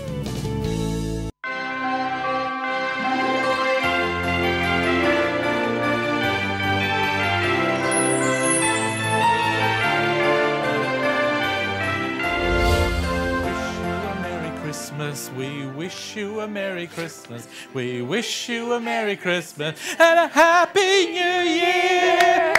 Welcome back. Welcome back. We're at a minute 20, an hour and 27 minutes, I've been told, and we've only got about 20 minutes left of this. So Hillary would just about blow it out of the water, I reckon. And uh, we've got Chef Dale, Hillary, and uh, Neesha back here. And what we're going to do, we're going to do some cooking very soon. But let me introduce this lovely young girl at centre stage.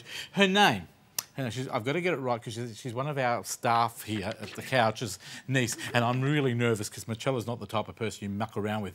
Olivia, I've got to do it in an Italian accent. Olivia Lenzo is her name.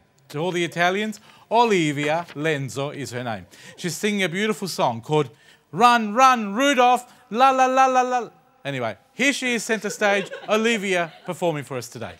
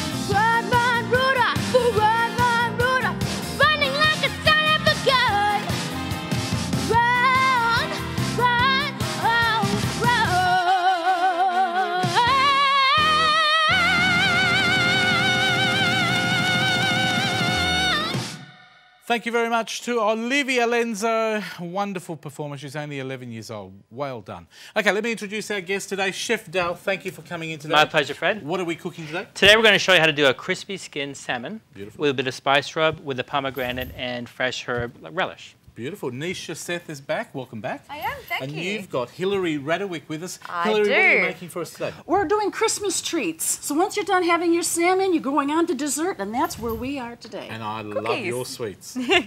Let's get on with it. Chef okay. Dale, what are we doing? So what we're going to do first is prepare the salmon for grilling or barbecuing. This is, again, great for Christmas. What to do uh, is make sure your salmon is dry. Mm. Uh, you rub a bit of spice blend onto the flesh side. That spice, I noticed it has your name on it. Can people buy that? It does, yes. ChefDale.com. You can pick one Beautiful, of these up. Because it does. It has an amazing scent. Okay, so what we do here, what we want to do is the crispy skin. So I basically start off with a stone cold pan. Yep. Absolutely stone cold. So we drop a little bit of olive oil onto. How long did you dry that for? Overnight? Oh, no, no, no. Just moments. Just yeah, moments. yeah. When Okay, it's wet, when it's wet, it's a bit of a problem. So what I'll do here is just rub the skin onto the oil. Yep. Into the cold pan. Yep. You don't get that? it's like your sound effects. It's Very like, delicate. Yeah. So you only put the oil on one side, I Yeah, that's it. Yeah, that's it. Then, then we fire up and we Sounds start good. we start fairly low and get quite aggressive. And what happens then is the skin starts to render. Mm. Okay, so with that, we're going to prepare the, the lemon. So what I do is I do a spiced lemon squeeze.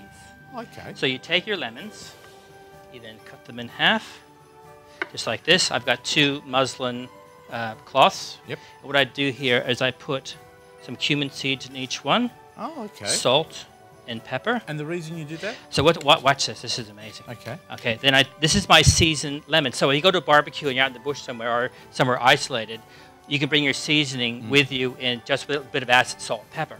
So then, as this is cooking, I'll show that to the camera. Matt, can we have a quick look at that one? That's what they look like in those trays. If I don't know if Matt can switch to that camera. Oh, over here. Thank you very much. There you go. Just so that we can show people, because it is television after all. If people can't see, there's no point doing it. okay. So the next thing we do, make sure it's uh, Yeah. most, uh, don't use like Chux or anything because it's a bit of a chemical in there. And then we drop in some olive oil on top of each one of those. Yep. So what's going to happen is we're going to barbecue the lemon until golden brown. Beautiful. That's going to insert into there. I'm going to wait till it cools off, tie it up. Then I'll squeeze that over the salmon. Wow. Yeah. Is that as simple as And why salmon for It's- Christmas? uh, salmon is a very, it's probably one of the cheapest. Uh, so, so you can't really mess this up. So the object is here. I need to Let render. Show, show that to Adrian. I'm sorry if I That's just all threw it off. There you go, Adrian. Can we get a lovely shot of that?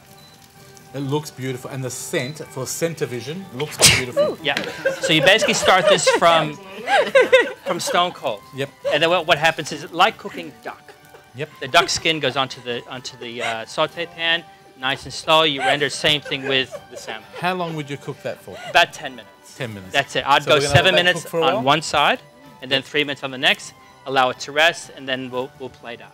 Anything else you want to do before we throw over to Neesha? Uh, one quick thing, what Yep, we're going to do, we're going to do a, little uh, pomegranate, because I'm not going to use any uh, acid into this, so I've got some mixed herbs we harvested.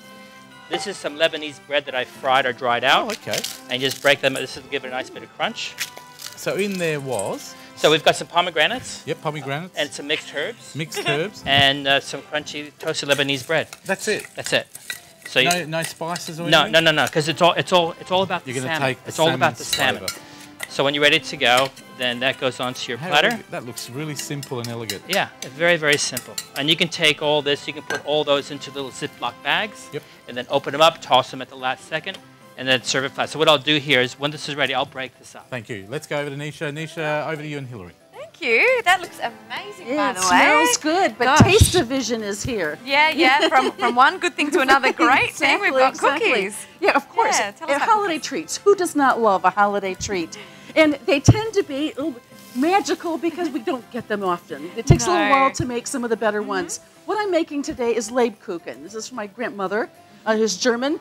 And Lebkuchen actually takes a little bit. You make the dough. They're usually spicy mm-hmm. German cookies. They- like their spice. Yeah. You cure the dough for a week in an airtight container, mm-hmm. and then you, of course, you bake them up, and then you let these baked cookies store for four weeks before you eat them. So it's a five-week process. At, at least five weeks, but not in our house. We were seven kids. Where does a where does a mother hide seven cookies, baked cookies from seven kids? Amazing. Or for that matter, where does mother hide the cookies from herself? Hi, mom. okay, what are we doing here? Okay, what are we doing here? This cookie has been, this dough has been cured, and it is a mix of, as you said, a lot of the spices. Um, the ones you expect: cinnamon, nutmeg. We're going to make a little ball. We're going to flatten it. Wonderful. And uh, allspice, nutmeg. I mean, just just your usual ones. They do like them a little spicy. You just pop that one in there. And it's and they're they're a lot of fun. This is called Lebkuchen. is actually a very particular name. This has been made in Nuremberg, Germany since the 14th century. And you're part German, aren't you? Um, yes, I am. My mother is German. Wonderful. So it, un, so just like champagne or Wensleydale cheese, you cannot commercially call this Lebkuchen. can I say Wow, schnell, that's schnell, schnell? Okay, we can put this in the oven. We can put this in the oven. Okay, fantastic. I'll so do go that ahead. for Neesha. that would So be your we'll job, do- Neesha. While you guys keep okay. chatting. That, that's All very right. And um, like I've mentioned, you know, the ho- holiday treats you usually take a little bit of extra effort. Okay. Um, and universal rule one is that we're all lining up to eat, and very few of us are lining up to actually make them. Except for you, of course. Except for me. Except for you. And I didn't even make these. Let's look over some. We do have some, and I will start here from uh, my left, your right. This is from India. This is from northern India. Um, the universal rule number two is that everything is regional. So this is northern India. It's called gulab jamun. It's a dense donut hole made with their happy spices, cardamom. Yeah. It's deep fried. The liquid you see in there is it was a rose water and sugar. syrup that's in there. They dust it with coconut, and you see some little uh, cashew nuts in there as well. We're moving over. This is we're walking over to Nigeria with this one. I love the cross-cultural And these are flair, yeah. yeah, they're right next to each What other. have we got here? Puff puffs. The- Oh, these are a finger favorite for everybody. In Nigeria, it's not so much about there's not a commercial aspect. It's families come in to eat. And this puff puffs, it is a simple dough. It's got um, you know, flour, sugar, Yeah. but there's yeast in it, and instead of just raising for an hour or two, they raise it overnight. This yeast is fermented, and it gives it an entirely different taste. Deep fried, um, depending on your sweet tooth, you can eat it plain or you can dust it with sugar, and we're all good. Lovely. We're trotting over now to Yeah. Italy Very good. And to Sicily. Up front, Sicily? up front, these are called pasta secche. They're very colourful. They're, indeed, they are. It's made from almond meal and egg white. This is a happy occasion one. You can see they put hazelnuts in there or candied fruit, almonds. This is all a happy occasion, like baptisms also. When we move up to the panettone, we're now hitting Christmas. Mm, it's called Pandoro. There's no fruit in it. Panettone, if it's got fruit in it, and everybody in Italy eats this. This is one that defies the. Is this the one you're leaving in the studio for us later? I'm leaving you the small piece. What, I, didn't, I didn't hear I that. have, I think we're- have we're- hungry Italians that don't want to make food, who want the other one. Eat away. I've got the salmon. Oh Looks- gosh. Can, can I thank the Onyemga You family? certainly can. The Onyemga, Onyemba family for Well helping me make the Nigerian dish. They have two lovely daughters who are willing to eat the leftovers, so that was helpful in convincing mom to help me make these. Thank you oh, very lovely. Well, while our cookies are baking, we'll come back over here. What's Let's go back to Chef Dowd. Chef, what are we doing? Okay, so we've done the first turn. So if That you looks see here that the skin is starting to render, Yes. nice and golden brown, it's not burnt. So if you want that really crispy skin on your salmon, don't start with a hot pan. How do you know when that's cooked as a chef? I'm looking at the opacity. Salmon is probably one of the easiest fish to cook. Because I never know Because how you long can to you, cook you can fish. see right right here Yep. where the protein is starting to hit. That's when the heat goes all the way through. You can have this medium rare. You can you can slightly overcook this if you like. Oh, It's- it still you comes can eat it red, Oh no y- yeah. I mean if that, that that's So going to happen. Unlike chicken, you're not going to get salmonella poisoning. Oh gosh, no. No, okay, good. so that's that is done. That looks So we just allow that to rest. This is slightly thicker, so we'll let that go.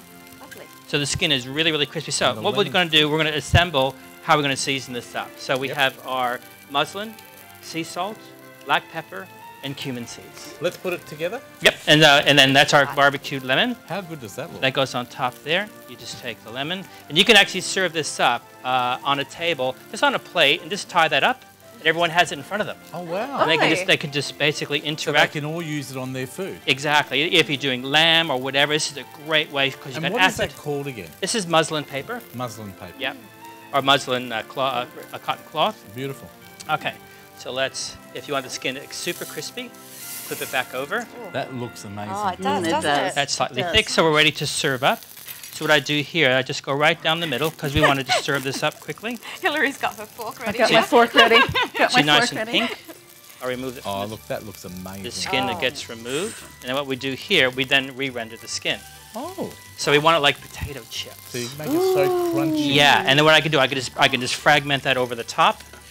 Lovely. So allow it to rest. So if you want to season this up, you've got your little cups here. And you know, folks, the the amazing thing about this, we haven't edited this. We've we've just done this under eight minutes. This Look at this. Look at this. You just you, your dressing is already built for you. That sits over the top. Oh. This is absolutely amazing. I can see this, everyone's Christmas. How amazing is that? Can we try it? Absolutely. Let's give Looks it a try. Beautiful. I'll grab it. Let's. Oh, Hillary, love a Yep, go ahead, try some of that. I'm going to let Neesha try some first, and Hillary. Hillary, would you like to try some? Oh, There you yes, go. I I'll- I'll- would. you can have that one. Oh, would you like to? Yeah, just right there. Oh, that's all right. I'll And you can cook this in advance. I'll get Uh, my spoon ready. it can, you can serve it hot or you can I'll serve it that one for you if cold. like. Oh, thank you. No one's eaten off that. That's all Thank good. you very much. Tell us what you think. I'm coming over to Dale's house for supper. Mm, beautiful. There won't be any fish, but because it'll all be finished. Lovely. And then with the salad have you got your pomegranates, you've got your crispy Lebanese uh, bread that's been toasted in the oven at 80 degrees until crispy. And then what I've done, I've got a whole bunch of big herb garden, so I just forage. I've got Thai basil, I've got Italian parsley, whatever fresh herbs you got. Just grind them all up. You don't have to put any dressing Quick, whatsoever. easy, Yeah, elegant, and incredibly fantastic. affordable. Is the recipe on the website? Uh, yes, it would be. What's your website? Uh, chefdale.com. chefdow.com. Let's go to, there it is on screen right now. Thank you, Chef. My Let's pleasure. go and check out the Let's, I was biscuits. cookies. Let's get those cookies I'll out. get the cookies out Don't of want the. to start a fire in the kitchen. I'll get them out because they're quite hot. Thanks. Thank you very much. There you go. It's a nice They've- uh, detail. There you go. Thank you. Okay, and What what, we we want to do is here? put a glaze on here. My glaze is very simple. This is just powdered sugar, icing sugar with lemon squeezed on it. No reason to make it complicated because you just want the slightest bit of glaze. If the cookies are still warm, good. Otherwise, nuke your glaze for a bit and then just kind of pastry brush on it.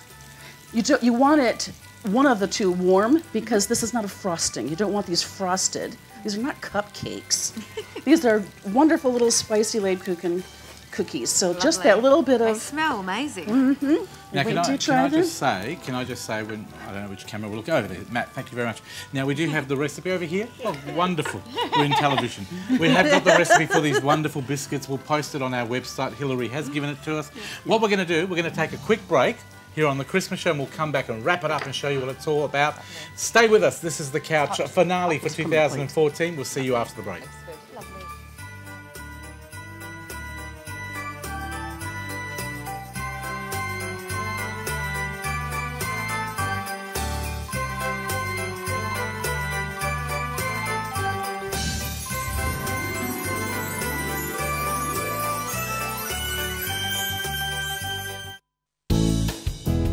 Episode of The Couch is proudly supported by Cafe Bella Vista Restaurant and Pizzeria. Azito, give it a go with Azito. Refresh Pure Water. And Reading Cinemas.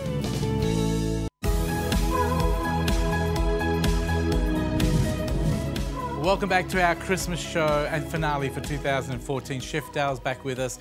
Uh, Hilary uh, Radowick is back with us and our very own Neesha Seth. Thank you very much, guys, for being part of the show today.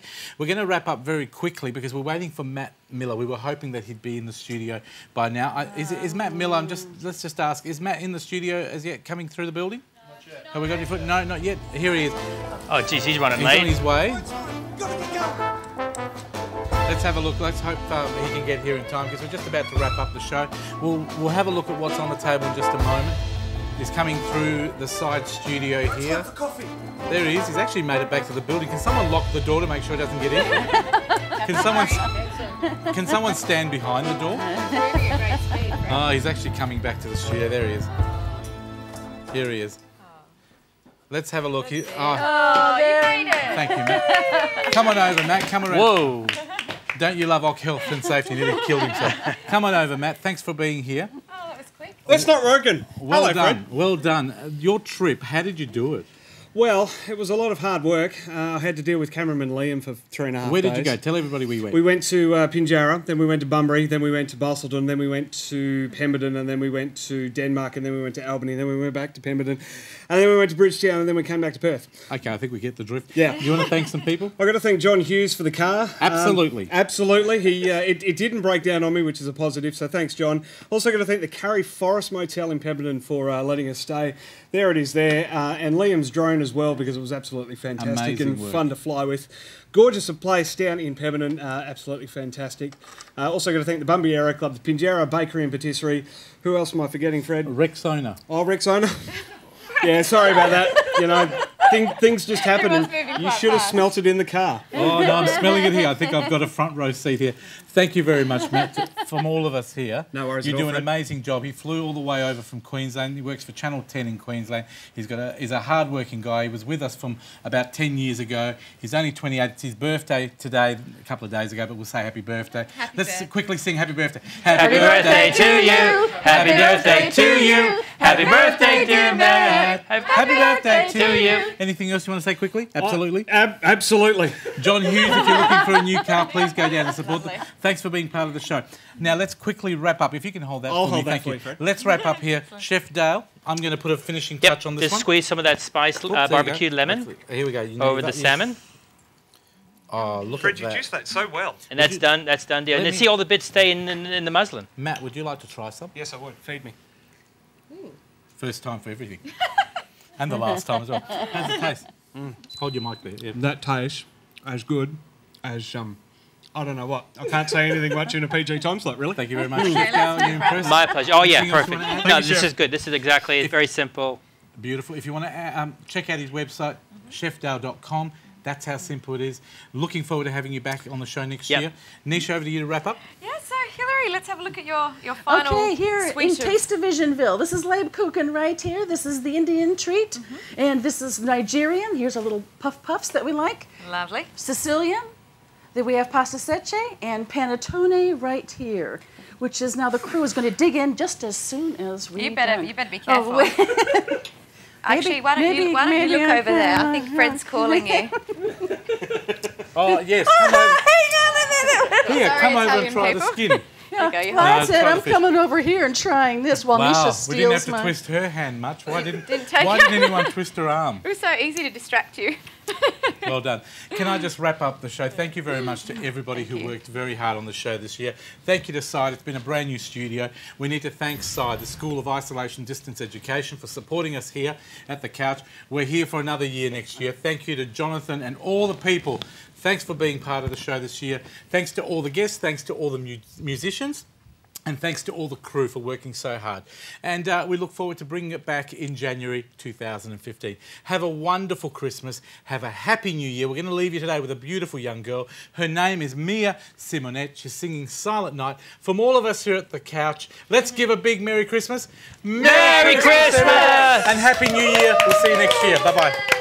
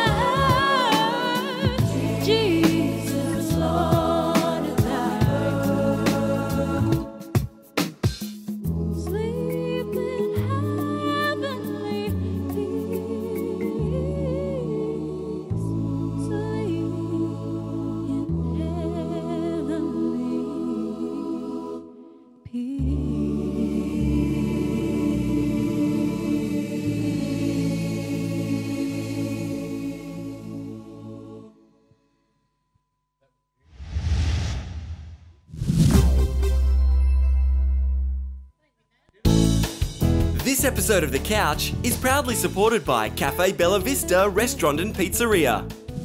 Azito, give it a go with Azito. Refresh Pure Water. And Reading Cinemas.